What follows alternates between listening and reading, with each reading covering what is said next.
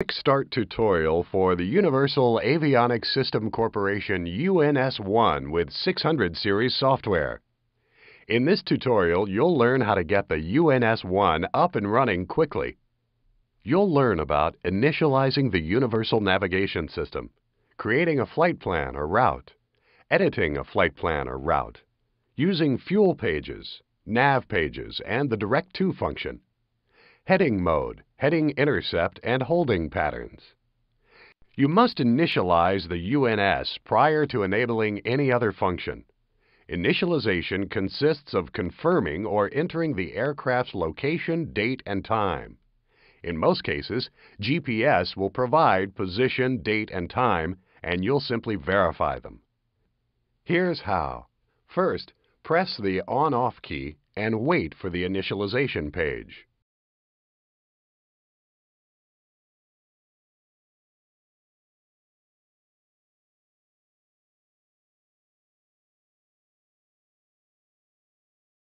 You may then either wait until the GPS appears in the ID field and then press Accept to accept the displayed date, universal time coordinated, and position.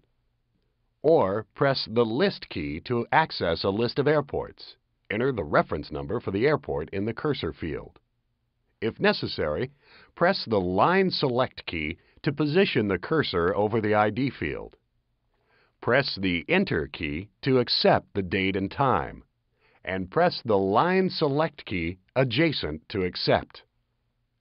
In the event that the system was not shut down at the present location, GPS is not available, or the time and date are incorrect, these values may be entered with the alphanumeric keys in the appropriate field by placing the cursor over the field with the Line Select key. Routes and flight plans are similar. A route is a series of waypoints stored in the Routes section of the pilot database. When a route is copied into the FPL or flight plan function, it becomes a flight plan. Flight plans and routes are created in the same manner, except that flight plans are created under the FPL key and is the waypoint routing the aircraft will actually fly, while routes are created under the data key for long-term storage. A previously stored route may be copied to the flight plan from the Copy Route page. To do that, press the FPL key and with the Line Select key, select Copy Pilot Route. Then, enter the reference number of desired route.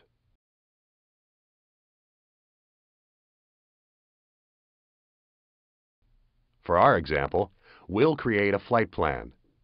Flight plan page 1 of 1 should have the departure airport as waypoint number 1. If it doesn't, use the List key to access a list of airports, or use the alphanumeric keys to type in the airport ICAO identifier and enter. Let's create the flight plan. Seattle Tacoma International Airport, SUMA 5 departure. Lakeview transition, Jet 5 Londo, Jet 50 to Gila Bend, Dingo 5 arrival, runway 11 left VOR with a MAVA transition to Tucson International Airport. First, use the menu key to bring up the flight plan menu page 1 of 1. Select Depart with the Line Select key. Next, Select the number corresponding to the active runway and enter. We'll use runway 16 right. Now select the SID in the same manner. In this case, that's the SUMA 5 departure. This is often followed by the selection of a transition, for example, Lakeview. Next, select Flight Plan with the Line Select key. Pressing the Next key displays the page with the last flight plan entry. If there is no blank cursor following the last flight plan entry, press the Line Select key next to the space following the last flight plan entry to bring up a blank cursor. The waypoint preceding the cursor will be the reference waypoint for the list search. press the List key to bring up the list page and use the Line Select key to right to select Airways. Airways will only be available for the list reference waypoint. From the list, select the desired airway and enter the number into the cursor field and press Enter. Here, it's Jet 5.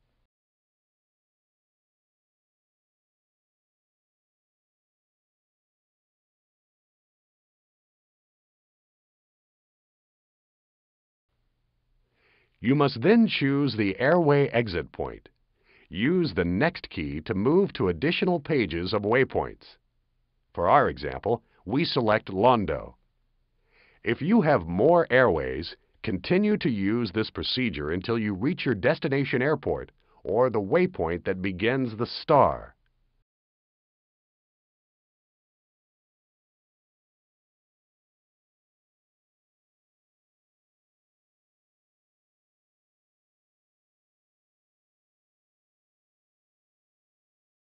We select Jet 50 and exit at Gila Bend.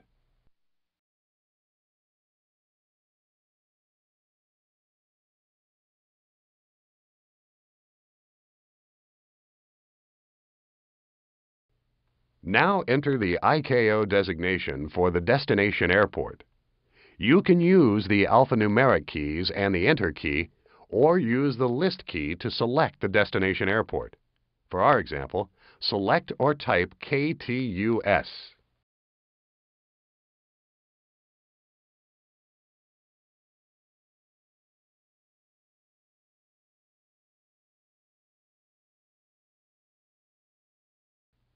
The next step is to press the Menu key to bring up the Flight Plan menu and select Arrive with the Line Select key. Enter the active runway by typing the corresponding number and pressing the Enter key. We select 1 1 left.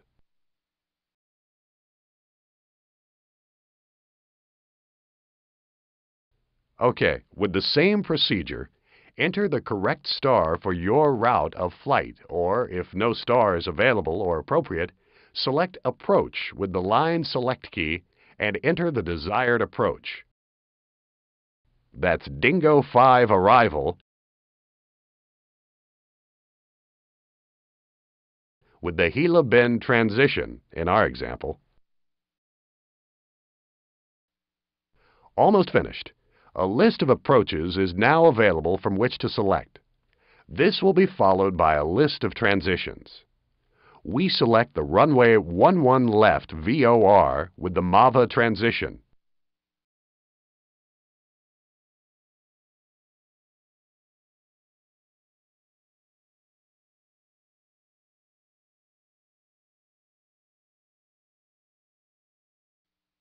And finally, we select Flight Plan to enter the arrival into the flight plan.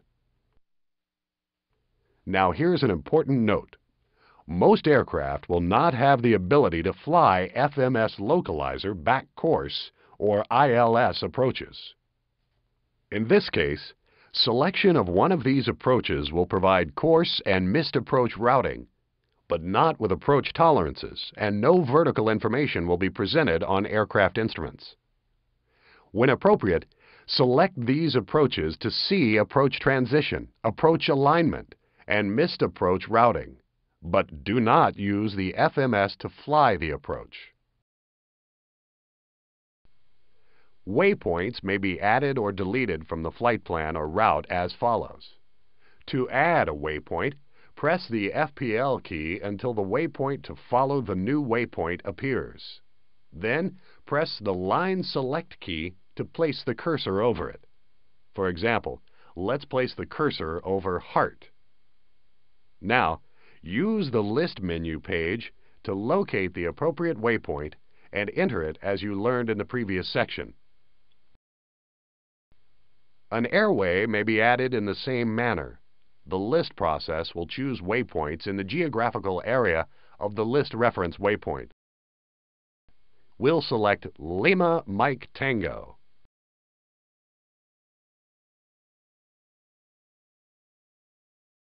An alternative to selecting the waypoint from a list is to make a direct entry using the alphanumeric keys.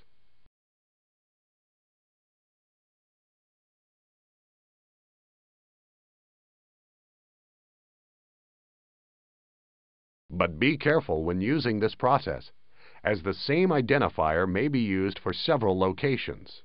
When that's the case, use the next or previous keys to cycle through waypoints with the same name before using the Enter key. To delete a waypoint in the flight plan, proceed as follows. Press the flight plan key until the waypoint you want to delete appears. Press the Line Select key to place the cursor over that waypoint. For example, we'll delete the waypoint Lima Mike Tango. Next, press the Line Select key adjacent to DEL. And finally, press the DEL Line Select key again to delete the waypoint. One or more waypoints can easily be deleted with a single procedure. Here's how to do that. Begin by pressing the flight plan key until the first waypoint you want to delete appears. Next, press the Line Select key adjacent to that waypoint. And finally, type the number of the first waypoint to remain on the flight plan, then press Enter. All intervening waypoints will be deleted. There are also two shortcuts Entering a 98 in a cursor field on a flight plan waypoint will delete that waypoint and all subsequent waypoints. Entering a 99 will delete all the waypoints on the flight plan. On occasion, a no-link waypoint will appear. This means that the FMS cannot link the previous waypoint to the next one. To fix it, you can simply delete the no-link waypoint and let the FMS fly directly from one waypoint to the next. But you should exercise caution before doing so and thoroughly review the flight plan waypoints around the no link to ensure the routing is correct. You can store a flight plan as a route. With the flight plan displayed, press the Menu key and select the Line Select key for Store Flight Plan. The current flight plan will be stored as a route in the pilot database. To delete an entire flight plan, first press the FPL key, then press the Menu key, and finally, press the Line Select key adjacent to the Delete FPL key twice. The flight plan will be deleted. Before we get started with fuel pages, note that fuel entries are optional. For fuel predictions to be calculated, the fuel page 1 must be filled. Fuel and weight entries should be made as accurately as possible to provide the best predictions. The fuel quantity is a pilot entry only and has no direct relationship to actual fuel quantity. On a few aircraft, fuel quantity is entered directly from the fuel quantity indicator. Pressing the Fuel key will access the Fuel 1 of 5 page. To initialize the fuel quantity, first enter the BOW, Basic Operating Weight, if it's not already present, using the Line Select key. Next, enter number of PAX. The average passenger weight may be set by using the Menu key to access the fuel menu. Enter 0 if appropriate. The total PAX weight will now have a cursor overlay Further alterations in the pack's weight can now be made if necessary. Press the Enter key when you're finished. Now enter the cargo weight. Enter 0 if appropriate.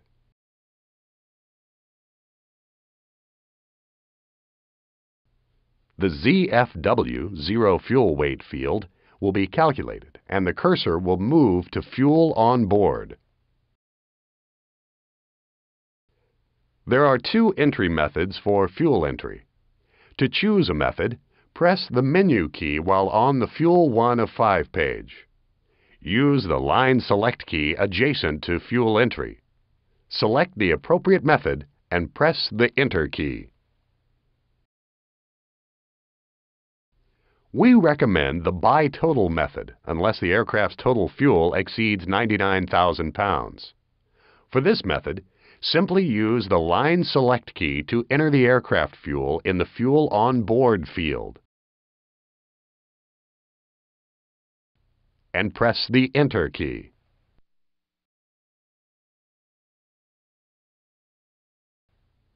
Alternatively, if you choose the By Tank option, the Line Select key will access the Tank 1 cursor field. Fields are available on the page for as many as six tanks, but keep in mind that the fields have no relationship to any specific aircraft fuel tanks. So if you're entering more than 99,999 pounds of fuel, simply enter the excess in Tank 2.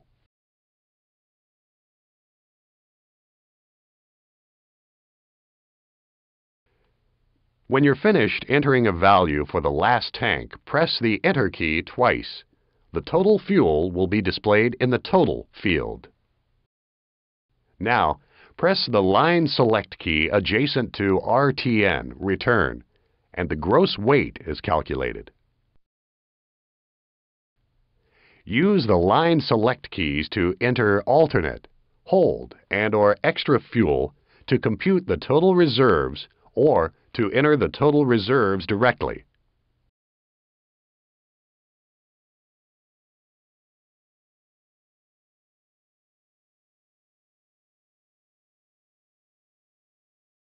This figure is used in later fuel pages. The remaining fuel pages are dynamic. They provide flight plan and fuel information for the flight in progress based on the entries in the fuel page 1 of 5. Some of the information included is as follows. Gross weight, distance remaining, ETE and ETA, fuel used, required, and available overhead destination, time and range, fuel flow, and finally, specific range, nautical miles per pound of fuel. When connected to the aircraft's autopilot, the UNS-1 will navigate the aircraft on the flight plan selected. Two nav pages are available to monitor the aircraft's progress. Nav page 1 displays the from, to, and next waypoints, along with wind information, cross track, ground speed, bearing, and track error.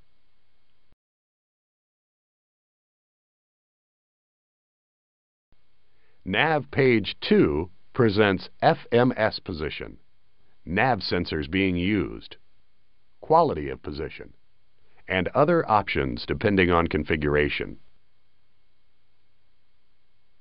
A Direct To function is available with the DTO key.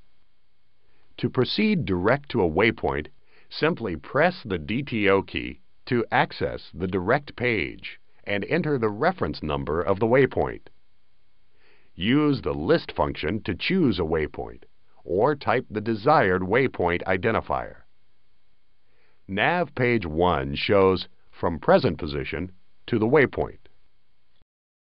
To enter a waypoint not on the flight plan, type in the identifier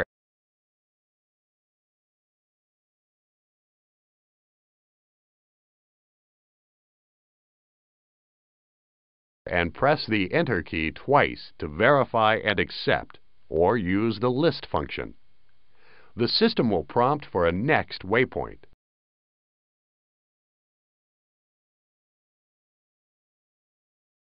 to connect with the remainder of the flight plan.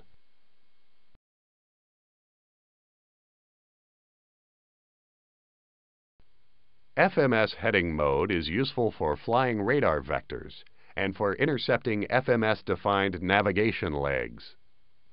To utilize the heading mode, select Nav page 1 of 2. Press the Line Select key adjacent to HDG heading to access the HDG page. Enter the desired heading with the numeric keys and press Enter. Press the Enter key again to accept the turn direction. The shortest direction is default, but the plus minus key can be used to change the turn direction from right to left. To cancel heading mode, press the line select key adjacent to CNCL or cancel heading. Use of the DTO function key and selection of a new to waypoint will also cancel the heading mode. Please note, canceling the FMS heading mode causes the FMS to steer the aircraft to the current from-to leg. An intercept heading of up to 45 degrees to the leg is possible and likely.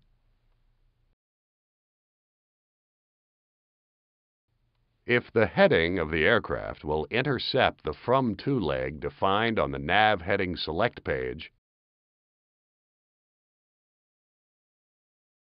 intercept will appear next to the line select key. Press the line select key next to intercept the present heading will be maintained. However, the aircraft, when reaching the from-to leg, will intercept the course and proceed to the to waypoint. A new nav page now shows the intercept of the from-to leg. You can program a holding pattern at any waypoint on or off the flight plan. You can store it for later use or activate it immediately. Immediate activation results in a direct to the holding pattern fix. Here's how to program a holding pattern. Begin by pressing the line select key adjacent to MNVR maneuver to access the MNVR page. Next, press the line select key next to holding definition to access the holding pattern page. Accept the default fix. Enter the number of a flight plan waypoint, or with the alphanumeric keys, enter a new holding fix. Now accept the default settings for the holding pattern variables, or use the line select key to change them as necessary.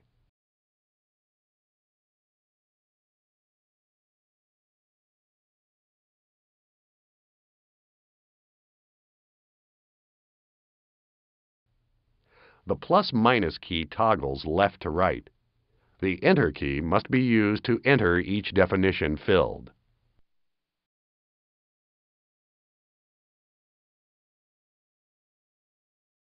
Arm Hold will place the holding pattern into the flight plan. When the aircraft arrives at that waypoint, it will enter holding. DTO hold or direct to hold will cause the FMS to navigate directly to the holding fix and hold as programmed. Now let's see how to exit the holding pattern. You can do that either by going direct to a waypoint, which results in an immediate exit of the holding pattern, or selecting Proceed with the Line Select key, which will result in the aircraft continuing in the current pattern until reaching the holding fix, then proceeding to the next fix. And that concludes our brief tutorial on using the Universal Avionics System Corporation UNS-1 with 600 series